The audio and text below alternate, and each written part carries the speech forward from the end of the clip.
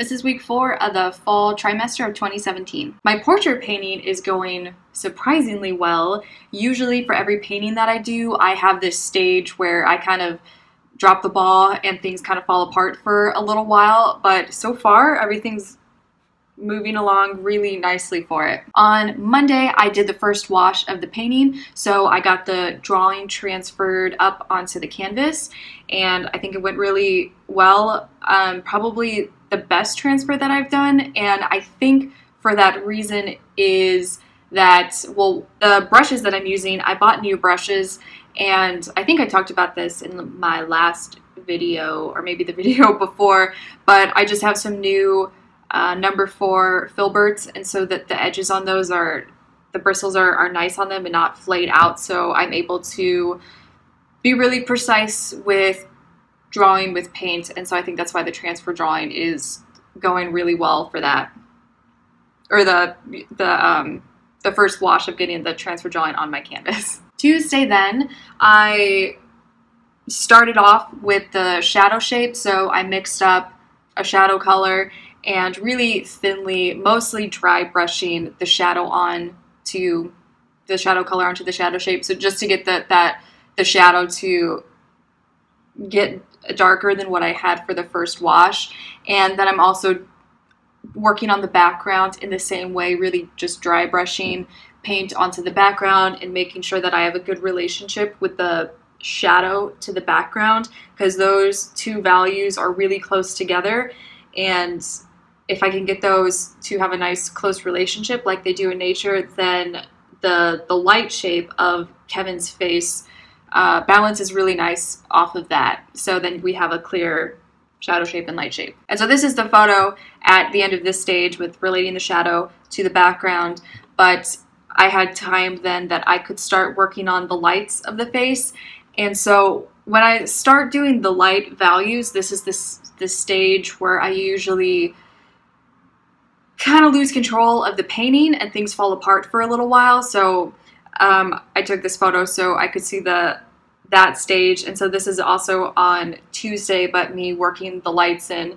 And so what I did with this is I just made up one mixture that represented Kevin's skin tone really generally. And I dry that dry brushed that on the face and the chest and really thinking about how I'm really just covering up the imprimatura that kind of has that gray look and I'm getting and I'm getting more closer to having it look like Kevin's skin. So really thin paint, really only one mixture, just dry brushing it on. And so so far the painting's going really well with um, working in the, starting to work in the lights. Thursday, I start off in the shadow again, and this time um, I might have started using a little bit of medium. I can't remember, just so um, it gets a nice thin layer of paint down and the, the shadow area is looking more unified. Dry brushing, I feel like it has a tendency to be uh, spotty, which is fine for the beginning stages when I'm still working out everything. I kind of like the atmosphericness of spotty paint, which gives me the feeling that I I can move things around pretty freely and I'm not locked into anything. But um, now I am starting to lock things in, so I'm getting the shadow nicely, repainting the background as well, so that gets a nicer more locked in layer of paint on it. And then I'm working out then from the shadow shape, so the darker half tones, and I'm blending that into the, the lights. And then at the end of the day, um, still mixing up, I think I have more than just one, I do have one more than one color for the, the, uh, the light shapes of the face, but still trying to do as few mixtures as possible. So I'm keeping everything as simple as possible. And when I'm using the lights, I'm more thinking about how I can be correcting the structure. So everything is still going smoothly and painting fairly thin, for me at least, painting thinner than I normally would and with as few mixtures as possible. Thursday, I spend the first part of the day always usually working in the shadow shape. This time though the shadow is locked in pretty well, so I'm not repainting the whole thing, only areas where I need to correct the shape a little bit or maybe soften or sharpen an edge. And I like to do this anyway, starting with the, the shadow shape and the darkest halftone and correcting those because um, since I work from natural light as we start at 9 a.m. and so the the light gets a little bit stronger usually after the first 25 minutes. So if I'm just spending the 25 minutes correcting the drawing, that's fine, and then I can um, mix up colors that are going to be more true for that session than maybe they would be like right at the the start. So um, I corrected some of the drawing, the darker halftones, and then now I just go to the lights of the face because that's the farthest thing behind, and um, I think I have a few more mixtures than I did the previous day, but still as few mixtures as possible and painting as thin as I can get away with, and I'm only painting thin so I can feel like I have more control of the paint while I am blocking in. And so with the lights, what I did is what I started on the right cheek and I was just figuring out really the drawing of it, making sure when I put in that light value of Kevin's cheekbone, it helps me see if I have the right distance between the eye and the nose. Um, and so when I work on that cheekbone, I then move over to his nose and making sure that the drawing is accurate between the bottom of the nose and the two uh, eyes. And then from the nose, I work to the other cheek. And I find with my other paintings that if I work across really big planes, the, the paint layer is nicer and a more fluid, natural look to it rather than doing a cheek, then another cheek, and kind of like doing this more spotty way. But I try and move over planes of the face so things kind of mesh really well on the painting. And so once I did that, I then moved down and kind of worked over that whole muzzle area in the lights and shadows, correcting the, the shapes. And then I worked up to the, the forehead and moved to the, the top of the head like that. And then Friday, I needed to paint Kevin's body because that part then is the furthest behind. It still has that first washy look to it. So I mixed up as few colors as possible that I could apply everywhere across his chest. I'm also working the colors that I'm using on the chest and seeing where I can work that, where I, where I see those colors in the background. Because the background's kind of this grayish purple and Kevin is has purple in his skin tones, but I had a lot of uh, more ochres to it, I guess, in oranges. So I was feeling kind of a disconnect between the background and almost like he kind of looked like a bit cut out and pasted onto that background. So I want to try and get the atmosphere to feel like it's all around him. So his body's affecting the background and the background's affecting his body. So I'm just working the colors in and out of the background as I work on his body as well. And um, fixing up shapes while I do that. And um, it the, the painting then, it turned out pretty nice. I feel like I have a really nice base now, a really solid block in of Kevin that I can start on Monday. And we have uh, five more days to work on him, so one more week, and that'll be it. And this is the smoothest painting that I've done so far. Like I said, I, I always seem to drop the ball during a painting and then I can get it at the end of it, but this time it hasn't happened yet. And I think I kind of passed up that stage, which is nice.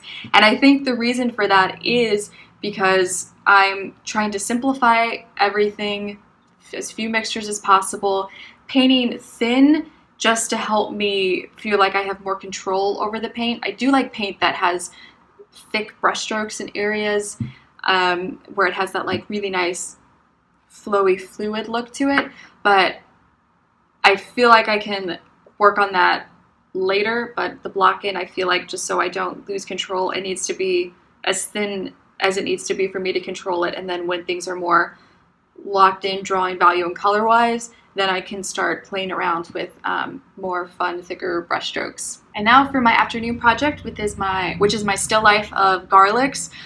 this is what it looked like on Friday. So I already had the, the wash on there and it was nice and dry working on it on Monday. So Monday I start applying the color to try and get the values and the colors more accurate and doing everything like I did with the figure painting, which is using as few mixtures as possible to get the impression of all the colors and values up there and also painting relatively pretty thin for me just to make sure that I have control of what I'm doing. Tuesday and Wednesday I forgot to take pictures at the end of the days while working on this but I'm building it up the exact same way as I did the figure painting or the portrait painting. Thursday I've got a nice layer of paint on there and I'm starting to really lock everything in.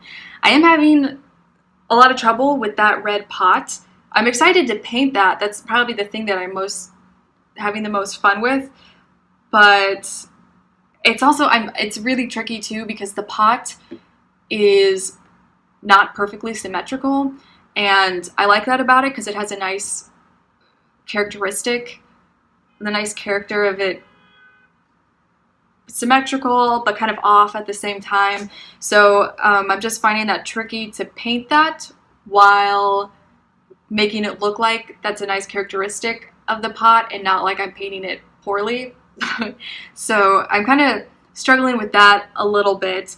And um, Matt talked to me about how to paint that. And so what I had been doing was I would outline the pot and my brush strokes were following pretty much the drawing of the pot, so the outline. So I'd, I'd have the top and it come down like that, and there are long brush strokes that kind of just just focused on um, the drawing, and uh, the middle was painted in long brush strokes going down, and some of them going across, and I guess it wasn't looking very naturalistic either painting it that way, and so he was saying if I adjust my technique for how I'm painting the pot, that it might be easier to get it more accurate in how well how it actually looks. So he was saying using shorter brush strokes and having the brush strokes actually represent the form of the pot. So painting either with the form or against the form or across the form,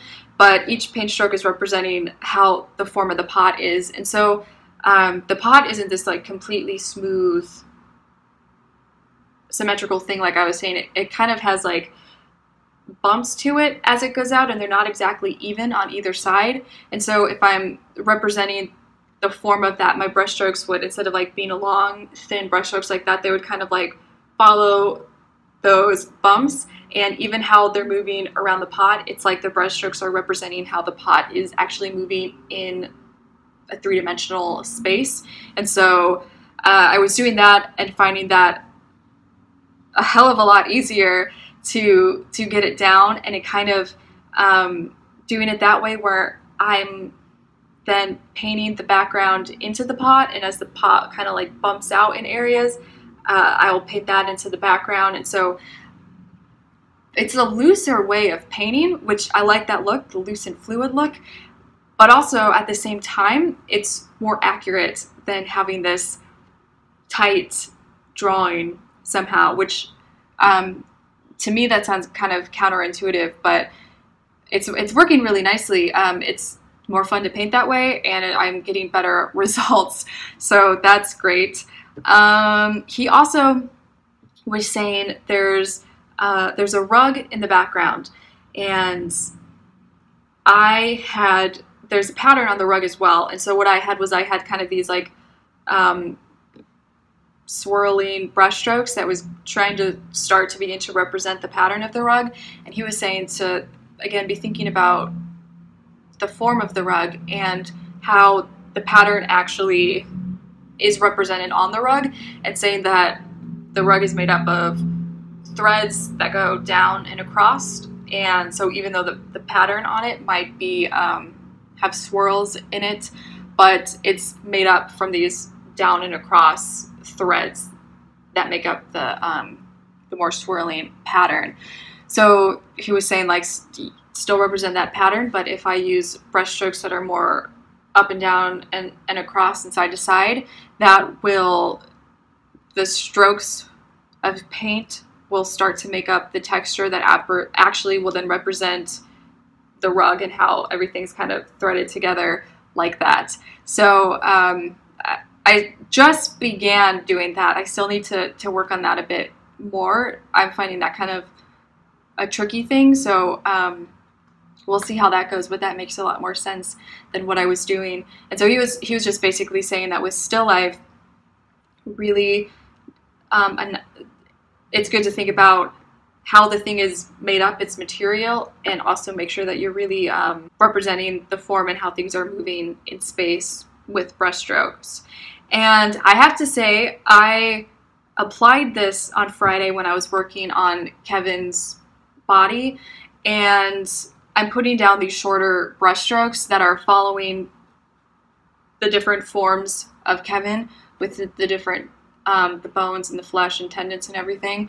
And something really clicked in my mind with that, which is uh, Matt and Magda have both told me in definitely my last critique was focused on that final critique, but um, other critiques as well, saying that when I paint and I'm focusing on the drawing, I start to lose the impression, and vice versa, that when I focus on the impression, I will start to lose the drawing.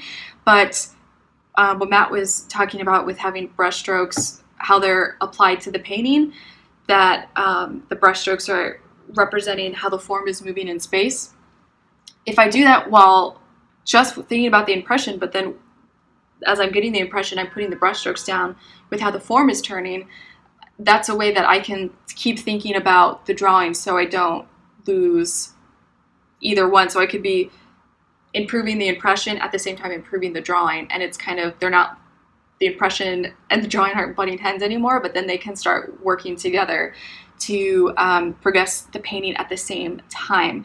So that was um, a little epiphany that i'm glad I, I had and i think that'll make painting easier in the future. And then on friday what i did was i mixed up all the colors that i saw all the colors, well, mixing up as few colors as possible still, but um, all that I needed to paint the pot, the garlic, the background with the rug, the slab of wood, and I was really focused on just that slab of wood and getting the garlics in the bottom of the pot to really sit nice and firmly on the plank of wood.